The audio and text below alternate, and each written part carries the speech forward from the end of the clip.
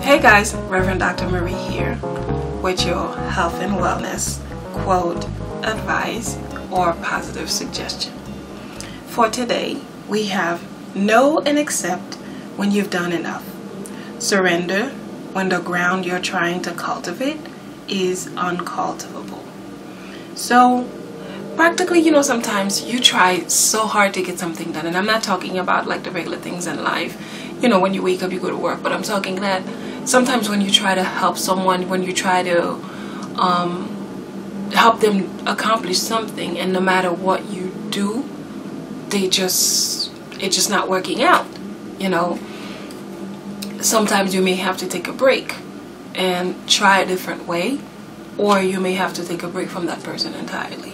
Sometimes some people cannot change, you know, when you're trying to push them. Sometimes some people can only change when they have that experience in life.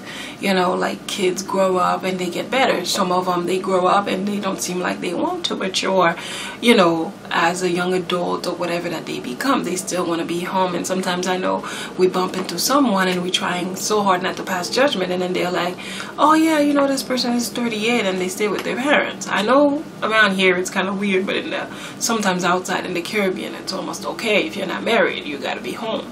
That's just a part of the culture.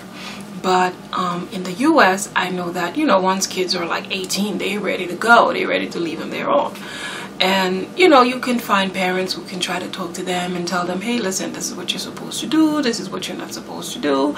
And sometimes some of them they don't listen. They just want to do whatever they want to do. They want to go out. They want to have fun. They want to go crazy. They want to get arrested. They want to get tickets. They want to be in trouble. They want to get in trouble. And if that's the route they take, the only thing you could do is just you could speak to them, you could pray for them, you could try to support them, but you cannot make them. It's just like when you're trying to change someone. You cannot do that. You can hope better for them, but you cannot take them upside down and take whatever negative negativity or whatever bad spirit, whatever you want to call it, whatever that's inside of them, you cannot just stick it out and then boom, they come they become a new person. It's not gonna happen.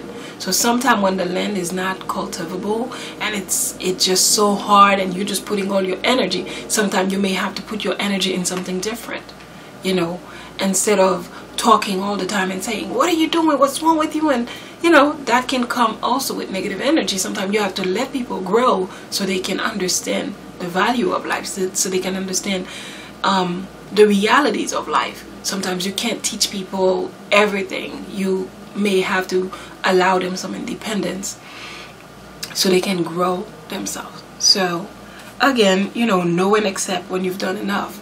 You did everything you could. You prayed. You um, invested. You you help them. You support them. You do everything that you can. And then, if it's not working or if it doesn't seem to work, just let it be. Sometimes you may like like for example, kids. You know, you could keep telling them all the time, and you thinking they're not listening they're listening because later on that's what could save their lives. So do the best that you can. Don't kill yourself over things that you cannot define. Sometimes some things are just, are just meant to be the way that they are.